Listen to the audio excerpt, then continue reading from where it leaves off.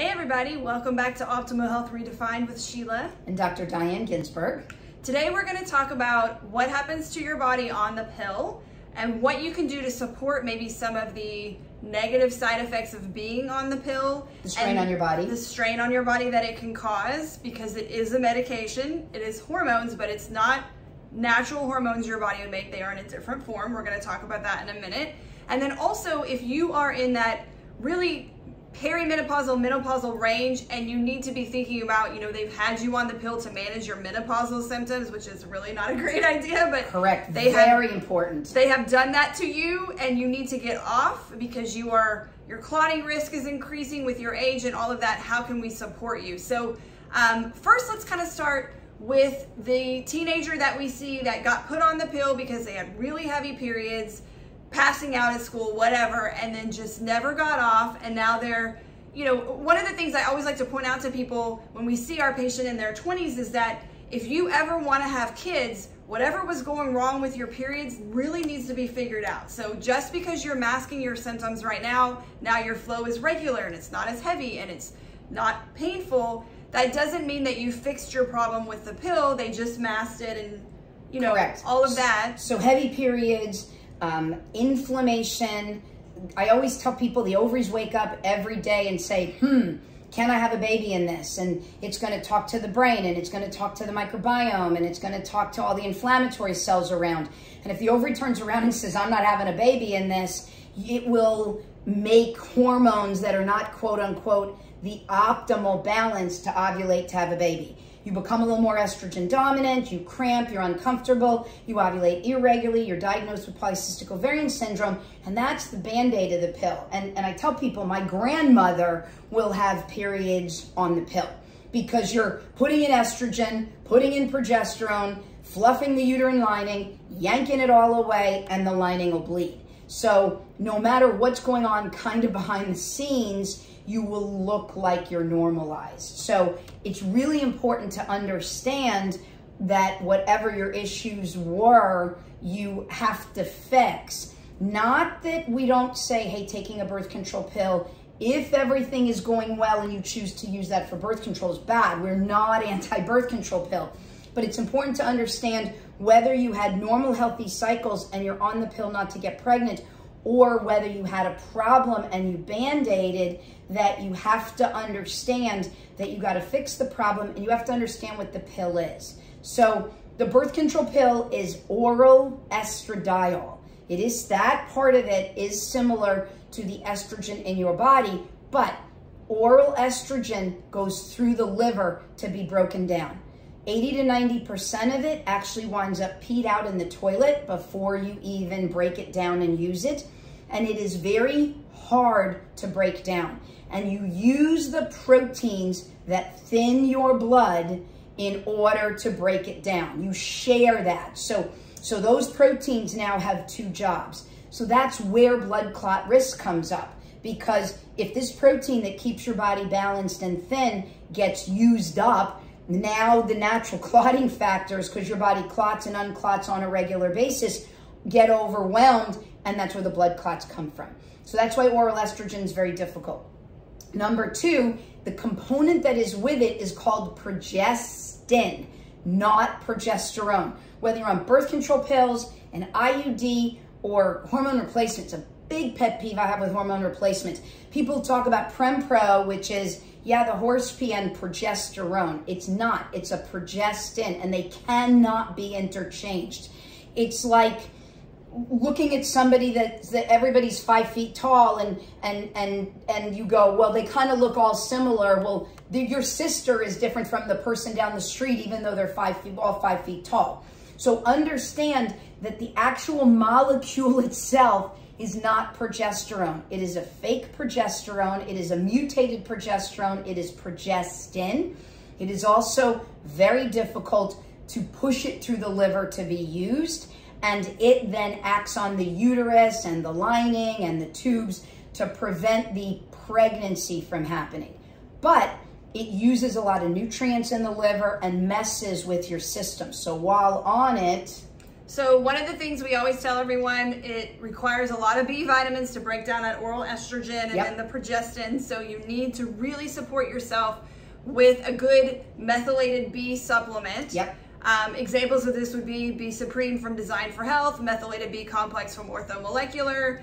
Um, there's a lot of good companies, Pure Encapsulations makes a good methylated B. So um, that would be something you would want to support yourself with supplementation wise. Now, B vitamins naturally in the diet come mostly from animal proteins and vegetables. So having a very nutrient rich diet, making sure you're getting a lot of your leafy greens.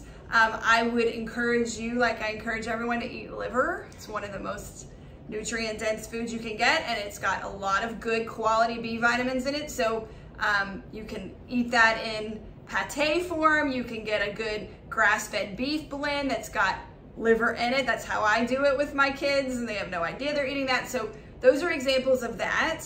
Um, and then, you know, you also want to be careful. So you're putting a lot of extra pressure on the liver. You don't want to add other things to it. So the fake estrogens that you get, you know, from plastic water bottles and phthalates and some of the things we've Makeup, talked about in other videos, your self-care stuff. Um, you want to be real careful about the burden you're putting on your body in other areas because you've got this extra burden on the liver. And sometimes, you know, like we mentioned, you need birth control because you're trying to prevent pregnancy or you just haven't figured out how to make yourself stop passing out while you're having horrible periods. While we're working on that, we may keep you on the birth control pill. So it becomes necessary to support your body while you're doing that. Um, we want to make sure that your gut, you know, so your gut microbiome is affected by the birth control pill Yes. in somewhat negative ways. So a probiotic can help with that, but that kind of goes back also to what does your diet look like? Are you eating a lot of good fiber, diverse vegetables and fruits? Um, are you eating good proteins? You know, protein is also important. We don't talk about that a lot with the gut, but having good protein also affects the good gut microbiome bugs. So really just, you know, looking again, the things we preach all the time. You need to have a good, well-balanced, healthy diet. understanding again that anything that is going on the liver, other medicines that you may take that you may need, um, uh, uh, anything else going down there is going to put more strain on the system. And So- that can affect, sorry to interrupt you, but I forgot about digestion. Yeah. So your digestion, your stomach acid may be depleted by the birth control pill, which would affect digestion in all areas down the pathway.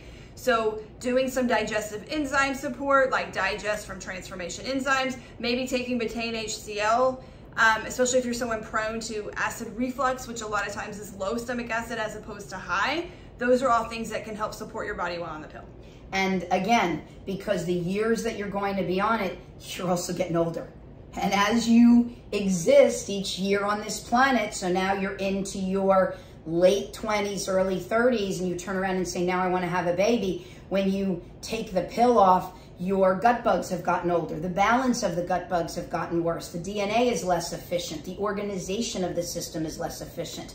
So again, support your system as much as possible and support it even more as you continue to get older. Now, the second thing that we'll see is women will get, let's say they will have their kids and then they'll find themselves 37, 38, 39 and they'll have a tubal and now they will be 41 and they'll say, oh my God, now my periods are terrible and I'm doubled over and I'm cramping even worse and I never did that before.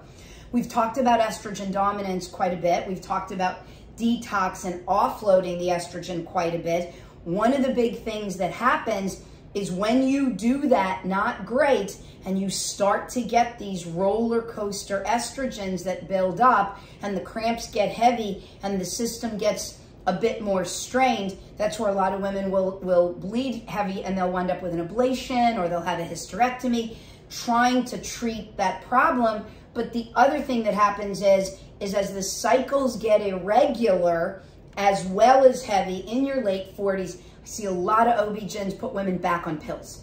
And that is the worst thing you can do because you're taking an aging system who has a failing microbiome and older cells, and you're putting this heavy demand on it, which is the estradiol progestin. And now you're making more byproducts, free radicals, more inflammation. You're creating more issues. When we give hormone replacement to women as we get older, we never want to give oral estrogen. We give it through a transdermal cream because passing through the liver is difficult. One of the big complaints I get from patients is, I just don't want to deal with it. I'm going back on the pill.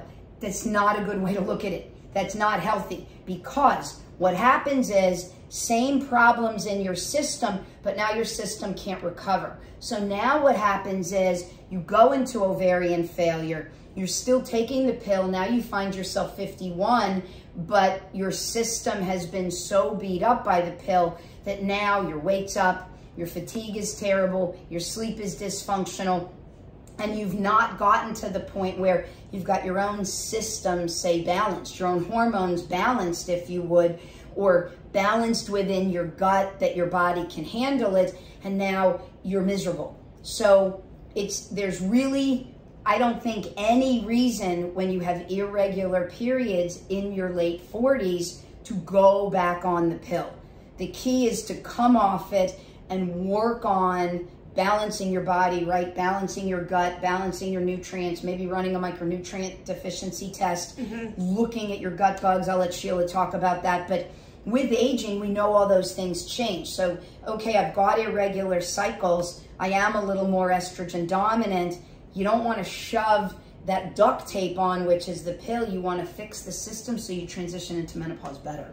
Yeah, and, a lot of times the first thing we will do before we get you off the pill, we will change your diet. So it may be that you need a targeted, you know, kind of similar. The reason that we've always kind of talked about a paleo type diet is we're really just talking about a natural, real food diet. Mm-hmm. That may end up including some grains for some people who can um, handle those, but we're talking about food as close to nature as possible um, as locally grown as possible. So we're just talking about a real food diet. We have a program on our website called the Real Food Rebuild. That is something that we'll often do with people when we're trying to get them off the pill. We were just put in these really good anti-inflammatory nutrient dense foods for a couple of months while we're looking at fixing whatever deficiencies have developed while they were on the pill and then, you know, we may do a stool test where we look, you know, is your beta glucuronidase elevated? If so, then we may need a more targeted detox for that estrogen dominance as we work on getting you off the pill. Now, if you're a woman in menopause who was put on the pill to manage hot flashes, the best thing that we can do is transition you off onto more bioidentical hormones. Yes, 100%.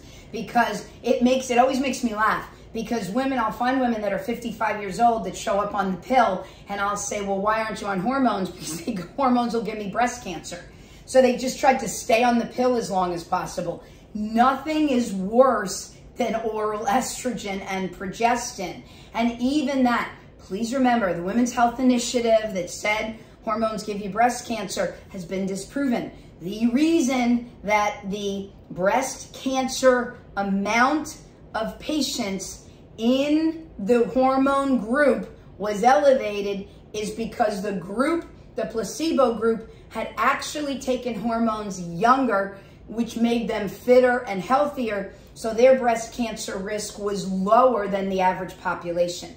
So it's not even that the hormone group was high, it's that this group was lower. It's kind of like if somebody runs a five minute mile and somebody else runs a six minute mile and you tell the six minute mile people they're slow.